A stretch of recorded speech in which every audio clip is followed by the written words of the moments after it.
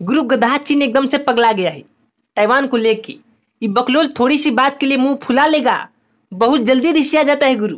China इस time पे जो मुर्गी बनत फिरत थी, इसके पीछे की वजह है ताइवान की प्रेसिडेंट ये मैडम घूमत फिरत चली गई अमेरिका के दौरे पे।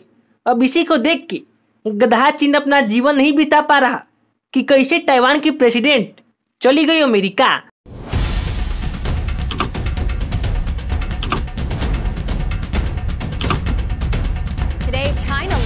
Military exercises taking aim at pro-independence forces in Taiwan. Turning to Asia, China launched a new round of military exercises overnight aimed at Taiwan.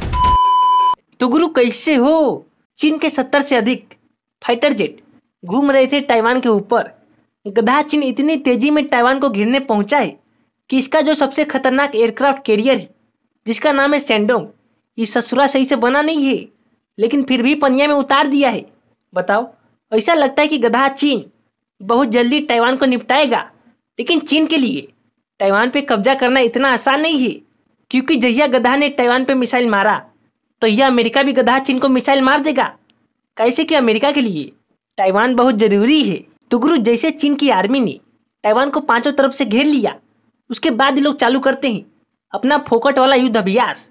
चीनी लोग युद्ध अभ्यास करके पता लगाते हैं कि जहिया वो लोग ताइवान पे कब्जा करने आएँगे, तहिया वो लोग कहाँ कहाँ और कैसे कैसे मारेंगे? देख रहे हो, कितना भयंकर तैयारी चालू है। अब गुरु आप लोग के दिमाग में चलता होगा कि इतना कुछ हो ही गवा। अमेरिका नहीं लौकते ससुरा। कहवा है, अगर अमेरिका के लिए ताइवान इतना ज़रूरी है तो कहिया बचाएगा इसको? गुरु, यहाँ तुम लोग गलत फहमी में जी रहे हो। जैसे ही गधा चीन ने ताइवान के अगल बगल युद्ध अभ्यास करना चालू किया, वैसे ही तुरंत अमेरिका का एयरक्राफ्ट कैरियर, यूएसएस निमिट्स जो कि बहुत खतरनाक के साथ भयंकर है। ये पहुँच गया है ताइवान के बगले में और गधा चीन का जो एयरक्राफ्ट कैरियर है सेंडोंग इसको तो कच्चा निकल जाएगा। यूएसएस निमिट्स साइज़ में सेंगडोंग से डबल है, गुरु। अगर जहाँ जे गलती से भी चीन ने ताइवान पे हमला बोला, तब तो आराम से इनको पानी में मार के सुअर बना देगा। इधर का माहौल एकदम गर्म था।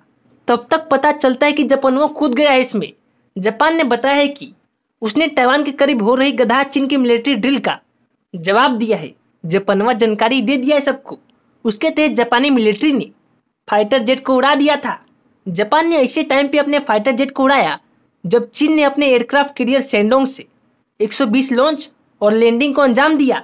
वहीं दूसरी ओर अमेरिका ने बोला कि उसकी तरफ़ से guided missile destroyer freedom of navigation operation के तहत दक्षिणी चीन सागर की तरफ़ रवाना कर दिया गया है। गुरु, तब तक पता चलता है कि गधा चीन ने अपना युद्ध अभ्यास बंद कर दिया है। अचानक गधा चीन नॉर्मल कैसे हो गया? तो गुरु इसके पीछे की वजह है। America US house foreign affair के चेयरमैन मेकोल, इन भाई साहब ने धड़ाक से बयान दे दिया। बोला, अगर जो चाइना ताइवान पे हमला करता है तो मेरी टेबल देख रहे हो। इस पे रखा है प्लान कि कैसे अमेरिकी सेना को भेजना है ताइवान। बॉस फिर का था, ये बयान जैसे ही लॉन्च हुआ, गधा ठंडा गया। चीन ने अपना युद्ध अभ्यास बंद कर दिया और चेतावनी दिया है। गधा चीन ने धमकी में बोला कि हमारी आर्मी लड़ाई के लिए एकदम तैयार है। बाहर से कोनो भी देश हमारे बीच में आया तो उसको हम मारेंगे। अब यहाँ चीनी सरकार दवाई खा के दवा करती है कि ताइवान उनके देश का हिस्सा है, जबकि ताइवान की सरकार का कहना है कि ताइवान एक देश है, ना कि चीन का हिस्सा। तो गुरु, बस आज के लिए इतना ही। वीडियो आपको कैसा लगा? कमेंट करके ज़रूर बताना।